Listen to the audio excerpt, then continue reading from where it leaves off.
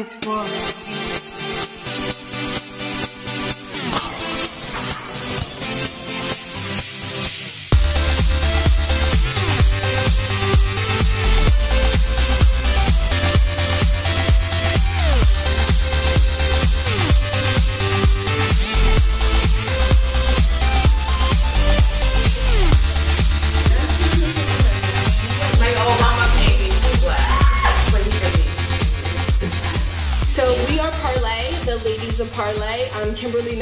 I'm Jessie Pierre. And I'm Sarita Michelle. Tiffany Lowry. Today we'll be discussing the evolution of beauty and our perception of beauty and how it's changed throughout the decades.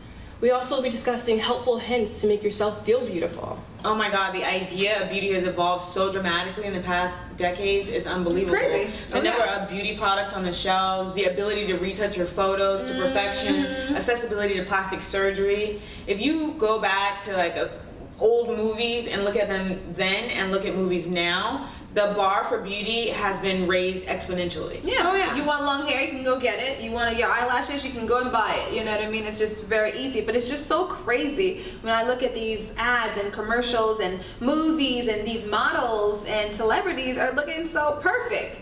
Their bodies are fit to It's perfection. It's a. Their skin has not even one wrinkle and not even a pimple. Like Flawless. really? Mm-hmm. And it's just like, how could you not feel pressure to look a certain way when the celebrity, even though I know there's retouching, I know there's altering, I know they have a full staff behind them to But make you're them gonna feel look a certain inadequate if you're comparing yourself to that. Exa- well, exactly. That's what we want to fight. But we are now here because of the men. All to receive the affections and the validations of the men. I mean, come on, let's just be honest. I think it goes all the way back to feminism, right? Um, the 40s, pinup models. That was Right. kind of the turn where we're a little more, you know, naked. We're showing more skin. The we're red lipstick. more right. Red lipstick then was like you didn't Oh my wear gosh, red oh lipstick. yeah, lady of the night. And so it started with kind of Scarlet. into it, burlesque shows and this sort of thing. And now we fast forward now to Kim Kardashian and Nicki Minaj booties and this surgery and this Just in your and face this trend and it- sexuality. And, it's just like as technology, it's just more and more, bigger, better. Uh, it's too much. Well, it's too much. They're the molds of beauty right now. They are the standard. Every woman's trying to be like her. If you look on Instagram or Facebook, every girl's contouring their face to look like them. I'm like, how many Kim the Kardashians are dress. They there? got the same dress on. I know. I used to feel like that when I go to the club and everyone had the same tight fitted tight dress and it's just Yes, everyone looks Lord, yeah, It's crazy. help. But I understand why. Because, you know, good looking people tend to get better jobs. They, you know, there's benefits, there's power. It's reward without Yeah, merit. You didn't do anything to earn it, but it's just given Oh to no, you. she did her There's eyebrows, she did the contour. Oh, yeah. No, there's all types of studies that show, you know, people in power make higher wages. You know, our presidents have been taller, and some Power of in the them, look. you know, mm-hmm. and Oh, yeah. more attractive power. You know, and for women, it's the same thing. I mean, let's be honest, we've all benefited at some time or another, more times probably than not, from being attractive. It's just society, and it just is what it is. So I get people striving to be that way, because I mean, it's And, yeah, there's a Yeah. benefit. Not gonna lie. Well, and you guys know that I was recently diagnosed with vitiligo, Right. which is a skin condition where you lose the pigment in your skin. So the bottom half of my face right now, you can't tell, but I'm wearing makeup. Good makeup. Yes, very good makeup. And I was never a person who wore makeup. I'm a very natural person. I'm happy and confident with myself. So now that I have this condition, people kind of look at me a little bit different. They kind of give a second glance of like, wait, wait, she's that's not normal. Like that's different, you know? So people are scared of different. So They're not comfortable with no, different. yeah, they're not comfortable with different. So I do feel the pressure of society to wear makeup and to be glammed up now. I it's hard for me to walk outside my house without putting makeup on, truthfully. I honestly understand what you're going through because when I was younger, it was not cool to have these cheekbones. like I was truly ostracized by kids. They would um, yell mean things to me, telling me I look like Skeletor, told me that I look like The Walking Dead.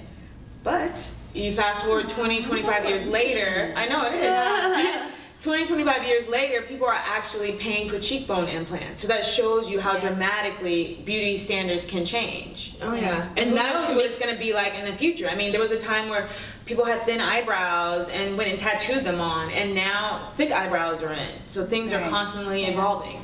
And I'll, I'll admit, I had a little moment recently. I mean, you ladies know, I um, recently had a hip replacement. And I didn't realize how much I had associated feeling sexy and beautiful with what I wore and being able to wear my heels. I had to wear flats. I was in pain all the time prior to the surgery, a little bit after the surgery. And it's embarrassing to admit that it really, really bothered me because I know men like heels. It toots our booty out. and Makes your leg a I- little longer. but I, had, I knew like Tiff, this is shallow, this is silly. You're confident that doesn't make you, and da da da da da. But I, it's embarrassing. toll. but it took, you know, and I'm I'm finally got okay with it. But you know, that's kind of embarrassing to admit. Well, Yeah. it's crazy. However, to many people, um, getting that validation, whether it's from a man, whether it's from friends or women, does make a difference on how you feel. Oh yeah. I know growing up, I um, developed very quickly. So in middle school, I had a lot of curves. A little something, a little extra, extra or something. Um, but you know, the great thing about getting older and you know age is that you do get more comfortable with who you are. You get comfortable with what you look like. You know what I mean? And it's just that's probably the best thing, and just it really just shining through. And, and that's why it's, it's super important not to compare yourself to other people. There's always going to be somebody taller, Yeah, thinner, man, Lord. prettier, and you're given this little vehicle in life to navigate with. You do whatever you feel comfortable doing, whether it's plastic surgery or whatever it is that's going to make it comfortable for you.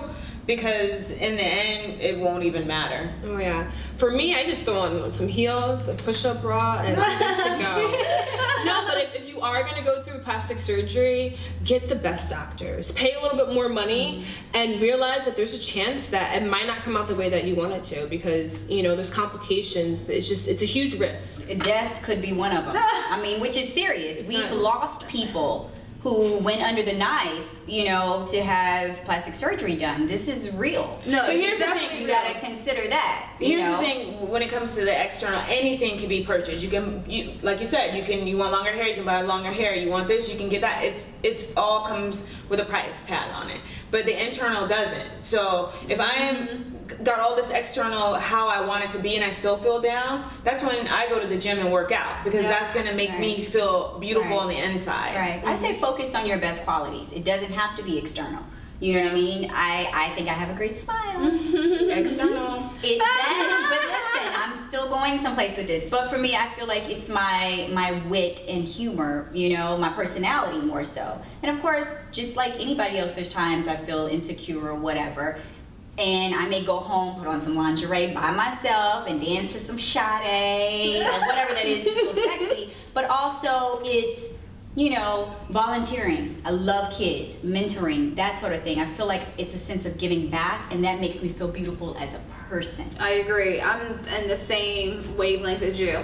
I feel like one, you gotta focus on your best assets. For me, it is my smile, but I also have a nice neck and collarbone. Um, but you know, that's just my little thing. Um, but you know, at the end of the day, it's all about confidence. You would see this girl who might not look like a thing to you, but she'll walk in. And steal the show because she has an Showstopper. air about her. Mm-hmm. You know what I Oh, mean? yeah. And it's the confidence, it's the self-esteem, it's in her eyes, it's in her smile, it's the way she moves. You know what I mean? Yeah. She feels good about herself. And for me, I feel the best on the outside when I'm the best in the inside, when I'm actually being the better person, when I'm being a good person. Beauty really comes from within. Yeah. You have to be careful not to allow your perception of beauty to be wrapped up in your external. Of course, Because of eventually we all are gonna have to relinquish the things of our youth, and one of those things is our appearance. Yeah. And so if you this is all you have to rely on in life, then you're gonna have a really bumpy, hard road ahead of you. Yeah. Yeah, I mean, at the end of the day, there's always going to be somebody who can never have enough surgeries, can't get enough hair, makeup, lashes, implants. It's always going to be something because they haven't found that thing within themselves that makes them feel good. And I say to those people, go talk to somebody. Figure out what that is that makes you feel beautiful as a person, makes you feel empowered, Yes. makes you mm-hmm. able to go out and live your life to the fullest. Like that's really, really, really important. Yep. Because Instead everything of else just is fleeting. focusing. Everything else is fleeting. Mm-hmm. I agree. So. Guys, that's our show for today. Um, again, please visit us on www.ladiesofparlee.com, Instagram, Facebook, Twitter us, leave us some comments, and let us know what you think about the episode. Yes. See you All right, next till next time. Bye, guys. I still love it from Naomi Campbell. That's beautiful. When I was a child, that was my idea of beauty, and then I had to see somebody who looked, I felt like something I could achieve. I can't say up